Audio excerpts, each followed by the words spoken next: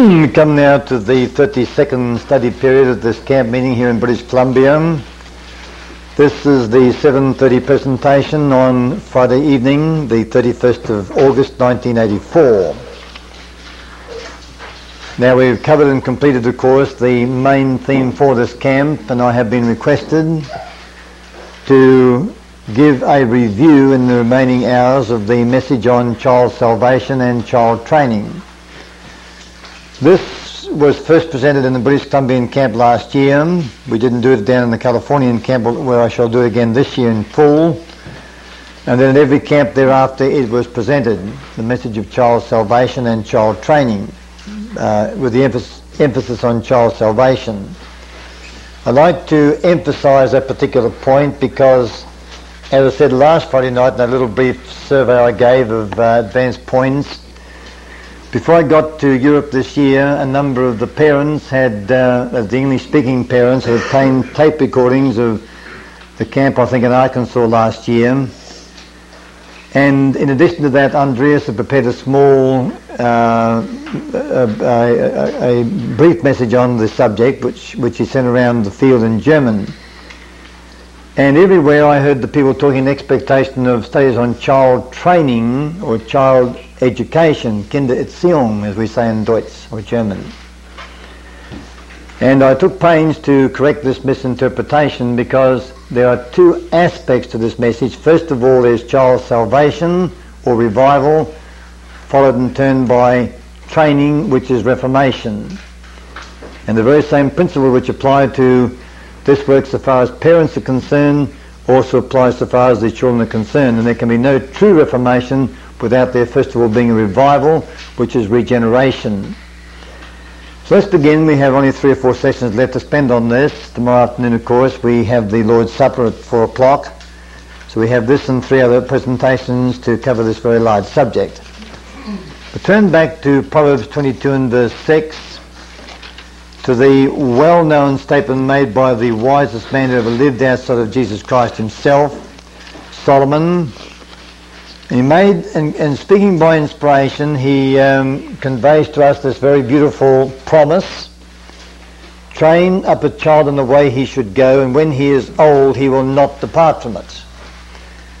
Now, if there's one thing that we ought to have learned during the years of the, the development of this message, it, it is that we never question for one moment the certainty of God's promises.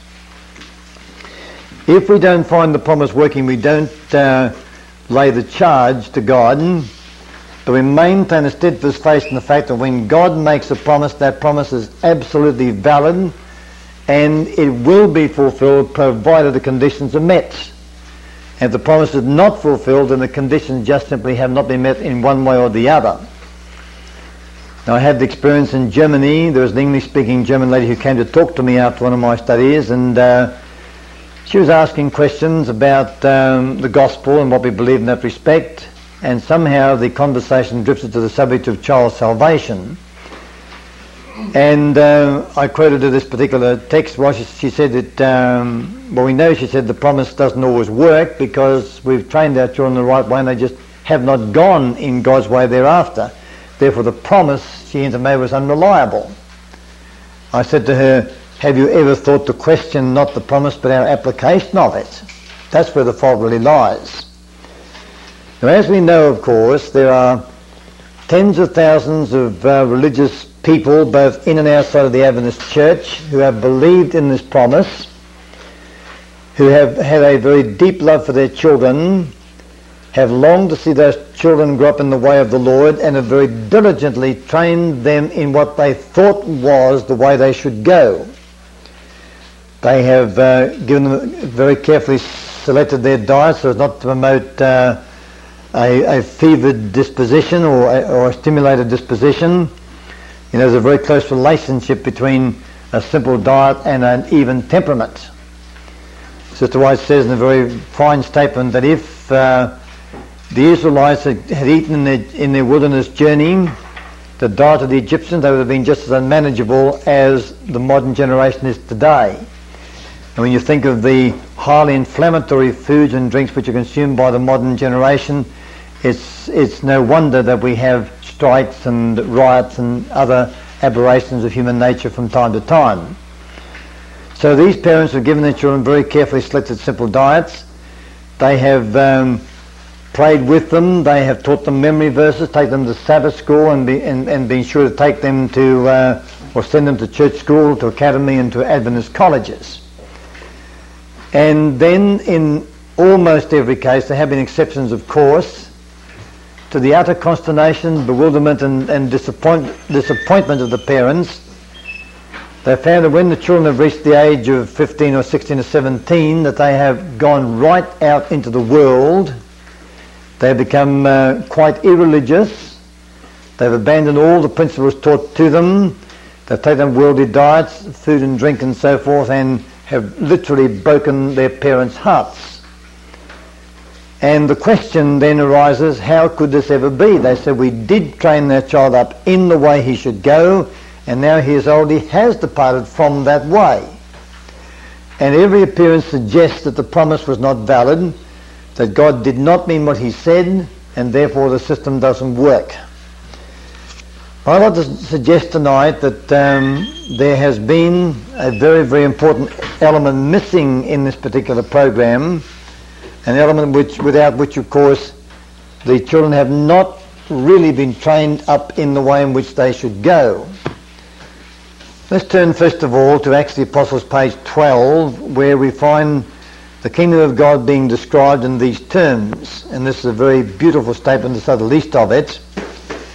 Uh, actually, we find something of the same words in Christ's object lessons, where Sister White is commenting upon the mustard seed. Now this, uh, I prefer to read this statement there because it has a sentence not found in Christ's object lessons. Whereunto asked Christ shall we liken the kingdom of God, or with what comparison shall we compare it? He could not employ the kingdoms of the world as a similitude. in society he found nothing with which to compare it. Earthly kingdoms ruled by the ascendancy of physical power but from Christ's kingdom, every carnal weapon, every instrument of coercion is banished. There's the difference, or at least one difference between earthly and divine governments. Earthly kingdoms ruled by the ascendancy of physical power, so the strongest is in command, but from Christ's kingdom every carnal weapon, every instrument of coercion is banished. Now then, once we have this definition of what an earthly kingdom is and what a heavenly kingdom is, then it's not difficult for a family to decide whether their home is an earthly kingdom or a divine kingdom, is it? If, for instance, we, if, for instance, the parents are ruling, if they rule at all, of course, many homes are simply anarchic because the parents are not in control and the children run, run their parents pretty well.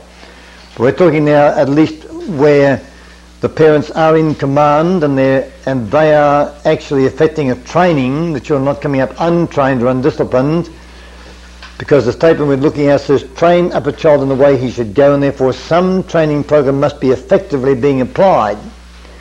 And if the children are in command, of course, they are then bringing up father and mother rather than father, father and mother bringing them up. So when we find a home government in which, which to use the exact words here, the parents are ruling um, by the ascendancy of their physical power, then what kind of kingdom is it? It's an earthly kingdom, which is a satanic kingdom. Now, of course, what uh, deceives parents in this respect is that they themselves can be, as I've seen it happen, truly born again Christians who love the Lord very dearly, who obey his commandments to the best of their knowledge, who are daily receiving fresh supplies of grace from heaven, and therefore, without a shadow of doubt, the parents are in fact walking in God's ways. and In their hearts, the kingdom of grace has been established. Now, what is the natural conclusion that such parents would draw about the overall state of their homes?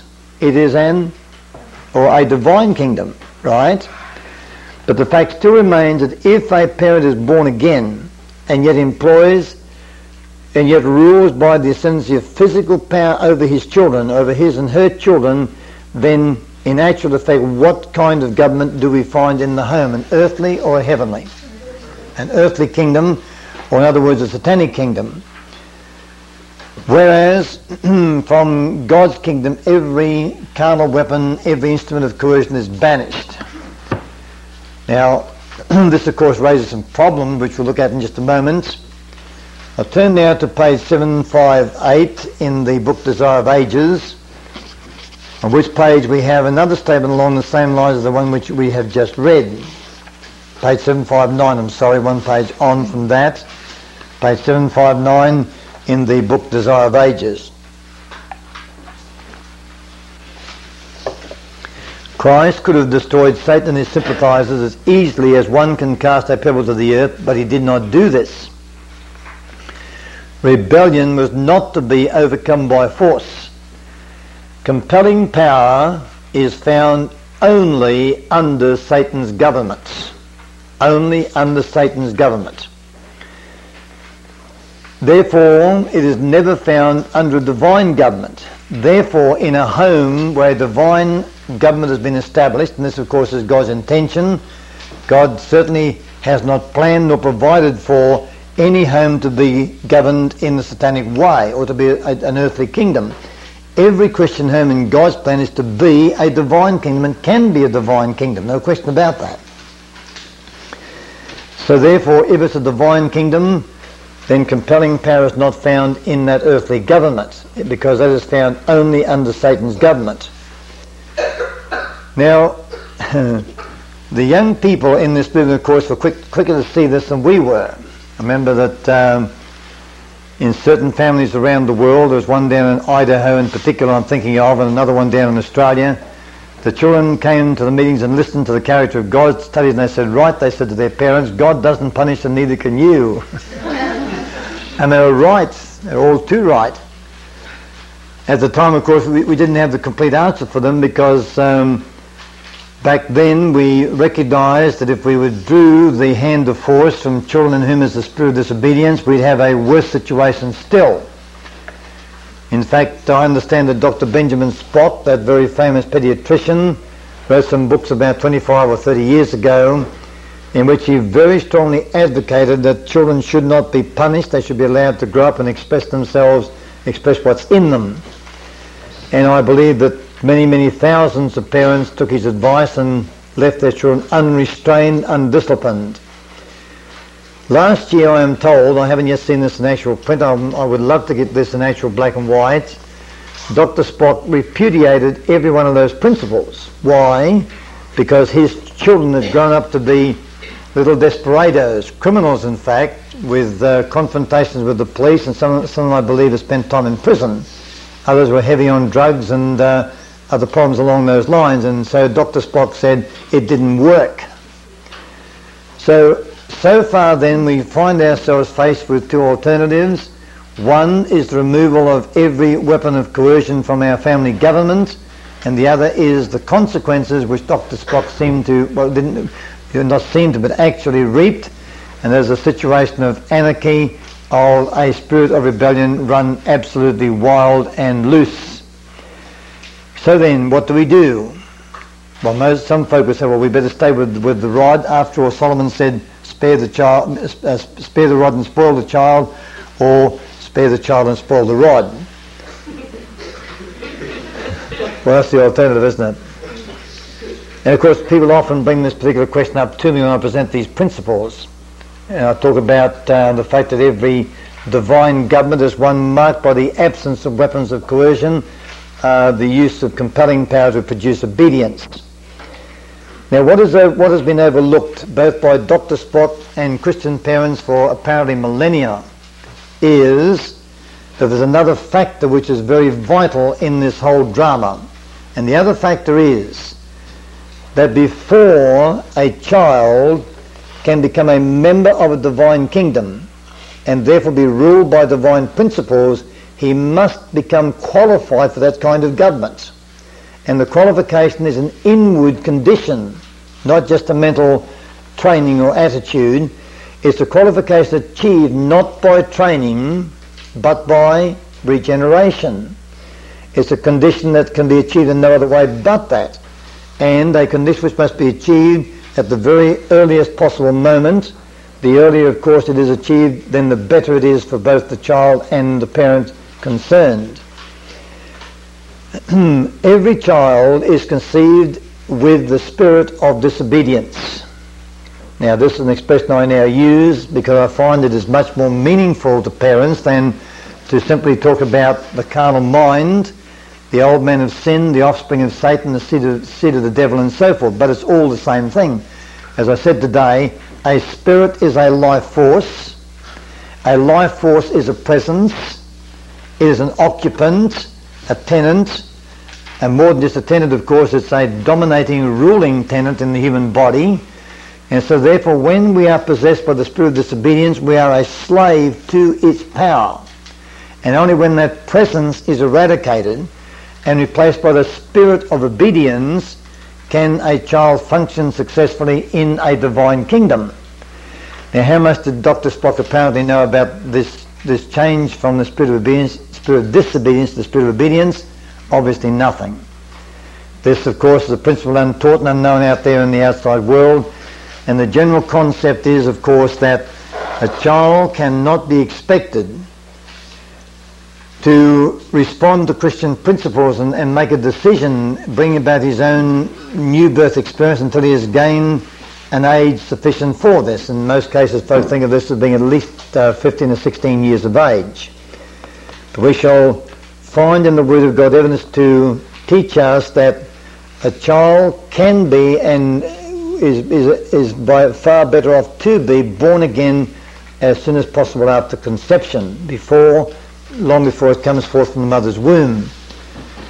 Of course, the standard objection to this is, well, how can such an important question be determined by the parents? Doesn't everyone in this world have to make the decision for themselves? But that uh, objection ignores the principle laid down by God when God himself instructed Israel to dedicate their children to him, to make decisions by which they brought them up in the ways of God after all said and done, when you as a Christian parent decide to take your child to church and to and have him go to Sabbath school, when you teach him memory verses, aren't you making decisions for him, decisions he can't make for himself? And the answer is obviously yes. Now, the statement which I use to prove that parents do have this right, and more than just a right, they're expected by God to do it, is found on page 50 in the book Desire of Ages. Page 50 in the book Desire of Ages. About 40 days after the birth of Christ, Joseph and Mary took him to Jerusalem to present him to the Lord and to offer sacrifice. This was according to the Jewish law, and as man's substitute, Christ must conform to the law in every particular. He had already been subjected to the rite of circumcision. Now, let me stop right there and ask you a question. We just read that the dedication of Christ took place 40 days after his birth. When did his circumcision take place? Eight days. Eight days, right? So here's a baby eight days old. At that age, how much capac- capacity does he have to make a decision? None whatsoever. Can he, and therefore he cannot dedicate himself to obey or pledge himself to obey the law of God. But now note these words very carefully he had already been subjected to the rite of circumcision as a pledge of his obedience to the law. So at the age of eight, a pledge was made that Jesus Christ would obey the law of God. Did he make it on his own behalf? Definitely not. Who made the, who made the pledge for him? His parents did. But that pledge counted as if he'd made it for himself, right? And that absolutely demonstrates the fact that parents do have the right the responsibility and the privilege of making those vital decisions for their children. And right now, those you all heard something of the Ch- Children's Salvation message, of course. For many of you, it's a review, and I trust a very helpful and blessed review. Right now, don't you wish with all your heart and soul that 20, 30, 40, 50, 60 years ago, as the case may be, your parents had made that choice for you and brought you a new birth experience before you were even born? Absolutely. I wish my parents had done it. With all my heart, I wish they'd done it. I'd be a much more efficient and more powerful Christian than I ever am at this present time, and so would you be. So gladly would we, would we endorse the decision made by our parents. Now, of course, as the child um, grows up and intelligence dawns and the child is able to make decisions, at first, of course, on a very limited scale, but in, with increasing responsibility as the years go by, the child then has the privilege of deciding whether he wants to confirm or to deny the decision made by his parents. So in the ultimate, who makes that decision? In the ultimate, the child himself. Which brings us back, of course, to the principle that everyone in the end must make his own decision to be saved. It can't be made by his parents in, in finality. Now let's turn now to some of the great promises found in the Word of God in regard to what God will do for our children Let's turn to Isaiah 49 and verse 25. Isaiah 49 and verse 25. And this is certainly a very wonderful declaration made by the God of heaven, chapter 49 and verse 25. I really love this statement with all my heart and with all my soul. Actually, I'd like to go back to verse 24 and read it and verse 25. And the question is, shall the prey be taken from the mighty or the lawful captive delivered? Now, who is the prey referred to in this verse? And the answer is your children. That's made clear, of course, by the next verse, which, which we shall read in just a moment. The context confirms that. And who is the mighty one from whom this prey shall be taken? The devil. Now, prey, of course, is um, is the food upon which uh, carnivorous animals feast. It's also, um, yes, that's, that's the general use of the word. And here, Satan is symbolized or represented as being a ravenous, devouring beast of prey. And your children, your beautiful children, like lambs in a lion's mouth, are the prey of this mighty one. And the question is, shall the prey be taken from the mighty? Now, the, the, unfortunately, the Mighty One's been having an awful good feast over the centuries, has he not? Feeding upon our beautiful children. And it's absolutely time this thing was changed. So he's denied his food and goes away a very hungry old devil. Or the lawful captive delivered. Now, are we the lawful prey of Satan before, before we're born again? Yes. Absolutely. What made it a lawful situation for him? Adam's cheap sellout in the Garden of Eden when Adam gave the human race into Satan's hand and it was done lawfully enough because Satan persuaded Adam and Eve to make this this this uh, surrender. And so we passed lawfully into the hands of Satan although Satan of course had no legal right to tempt man in the first case. Verse 25 but thus saith the Lord, even the captives of the mighty shall be taken away, and the prey of the terrible shall be delivered. For I will contend with him who contends with you, and I will save your children. That, that's a promise for every parent, is it not? I will save your children. We might at this point stress the point that uh, God has a a plan of salvation which is applied to every single human need. It, does, it doesn't matter whether it's, whether it's mental, physical or spiritual. Jesus Christ has one plan, one provision which brings salvation to parents and children alike. Now, when, for instance, the Lord says, I will save you, we think of the plan of salvation. When he says, I will save your children, we don't tend to think of the plan of salvation. We tend to think rather of God's protecting care about them to provide them with physical deliverance from the physical peril that they face from day to day. But let me stress tonight that uh, there's only one way to bring salvation to your children, and that is the gospel of Jesus Christ, the power of God to save from sin. Let's turn for a moment to Romans chapter 1 again, keeping your finger in Isaiah 49 verse 25. We'll come back there in just a second or two. And if I, if I can bring just one thought to your minds tonight, it is this, that, that at their disposal, parents have the awesome power of God's salvation plan whereby to bring into effect the salvation of their children. As we saw two nights ago, we read from Romans 1.16 where Paul says, For I am not ashamed of the gospel of Christ. For it is the power of God and the salvation to every one that believeth. Well, of course, that means, does it not, to everyone over the age of 10, or should I say 15, or is it 20?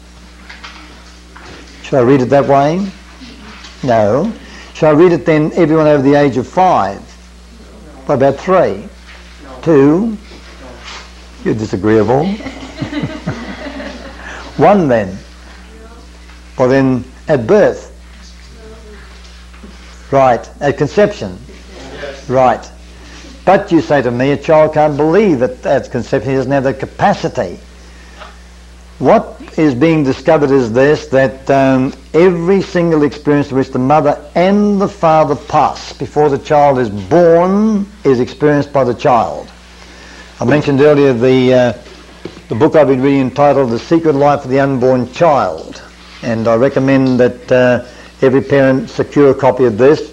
The last few chapters I, I don't recommend, they get off into other themes, but this book demonstrates the fact that every experience through which the father and mother pass, the, the unborn infant also passes.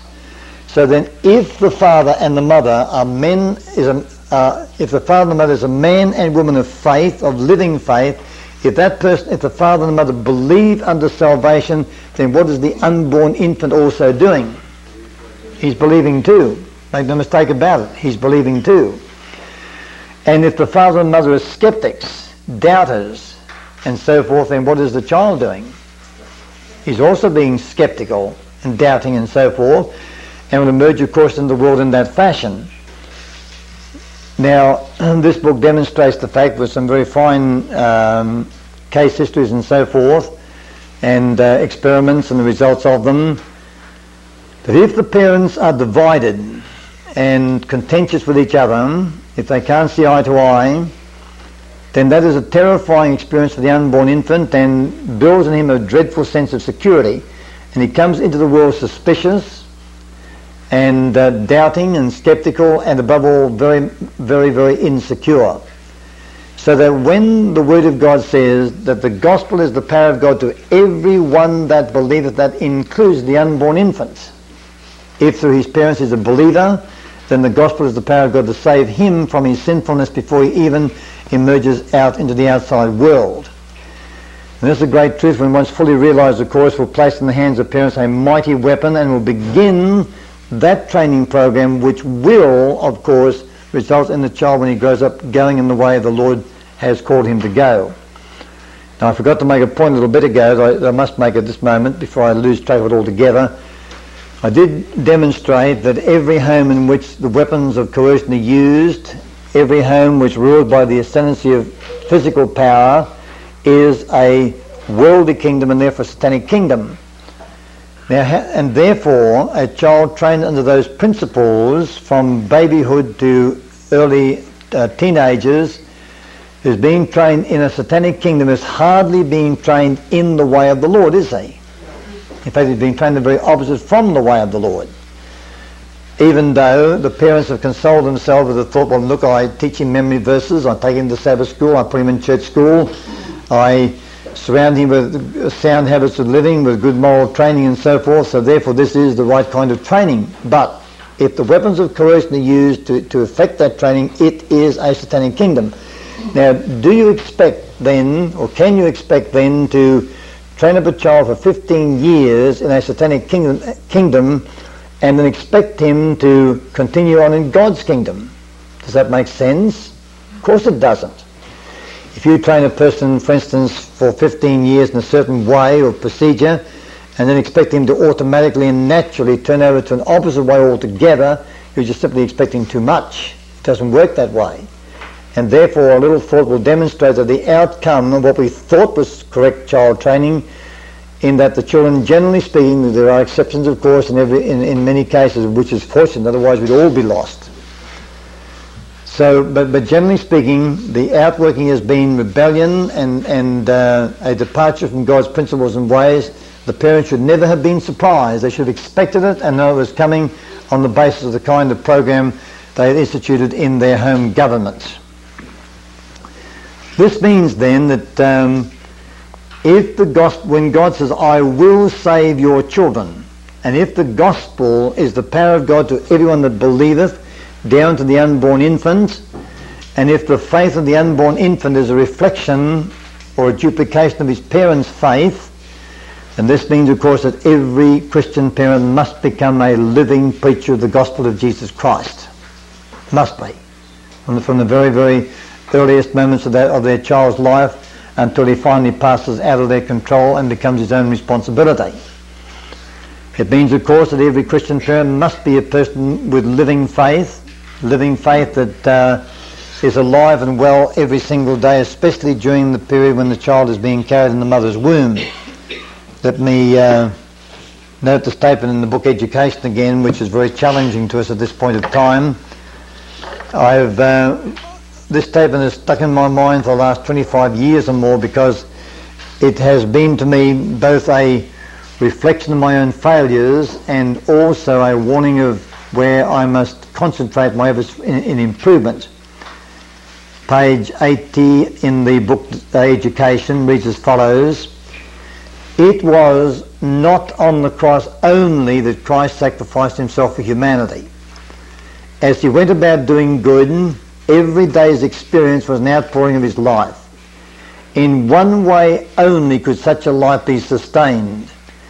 Jesus lived in dependence upon God and communion with him to the secret place. Now here comes the main part of the paragraph I want to draw attention to right now.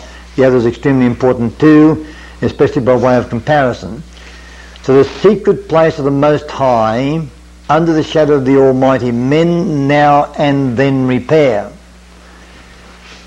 What's not a, word, a single word you put in the place of now and then? Occasionally. Occasionally, yes. Uh, another word yet. Intermittently. Right? Intermittently, off and on, now and then. They abide for a season, and result is manifest in noble deeds. Then their faith fails, the communion is interrupted and the life work marred.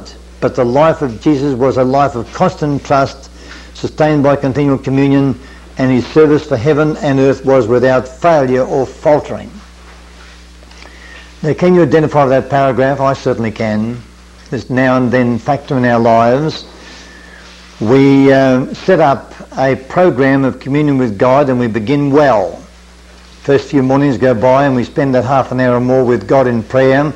We very, very carefully and thoughtfully peruse the beautiful words of life in a book like Desire of Ages, Acts of the Apostles, or perhaps a Bible book instead.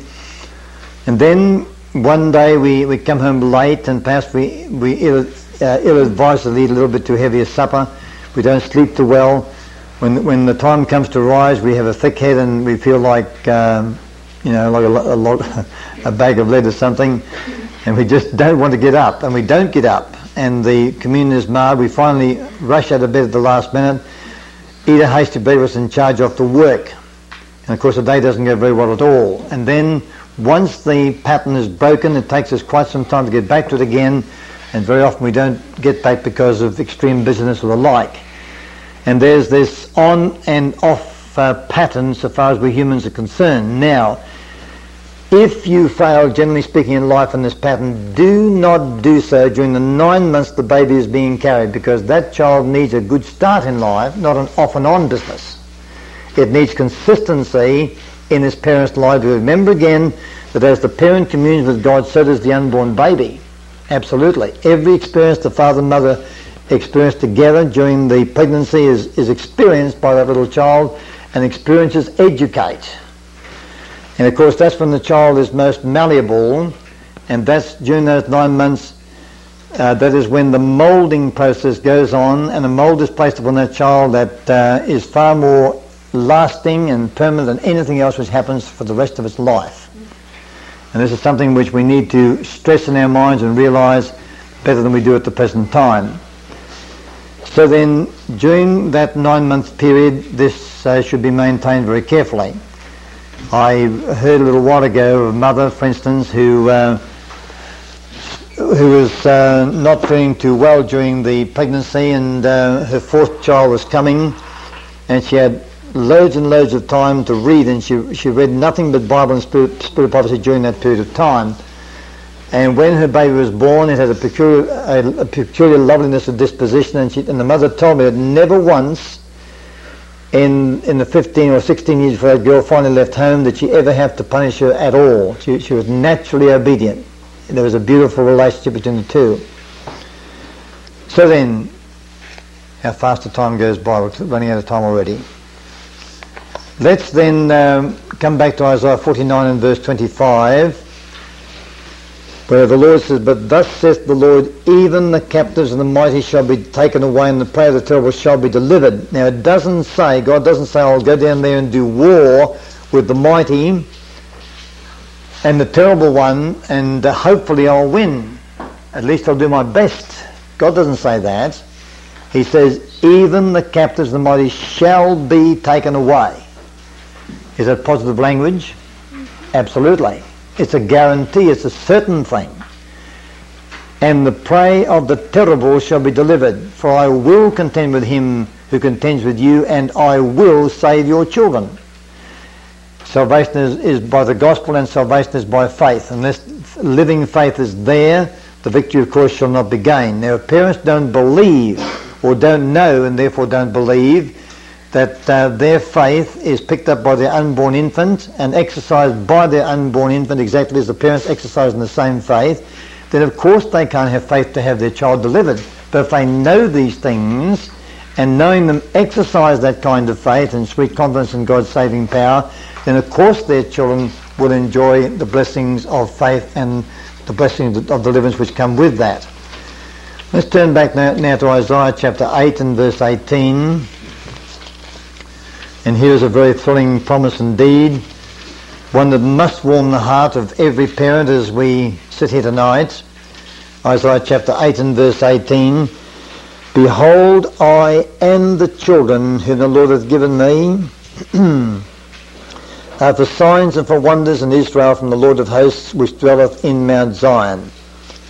Now in the book Christ Object Lessons, page 196, we have a comment on this particular statement, which is likewise a very beautiful one and most encouraging to every parent gathered here this evening. Page 196 in the little book Christ Object Lessons. The, the, the children here, of course, can be applied to, um, I'll go page 195 and 196. The children here could be referred, of course, in a spiritual sense, but Sister White does apply it in the actual physical sense, our actual physical offspring. She says there are fathers and mothers who long to labour in some foreign mission field.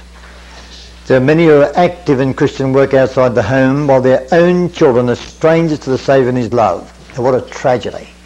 Think about it. Here's the parents running around trying to convert the world while the children are strangers to the Saviour and His love. Is that a picture of born again children? Anything but.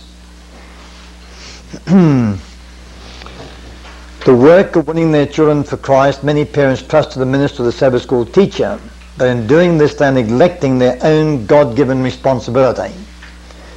Now I have opportunities as I travel the world to approach the children and talk to them about their conversion and to lead them to, to Jesus Christ. This I will not do because that's the parent's responsibility.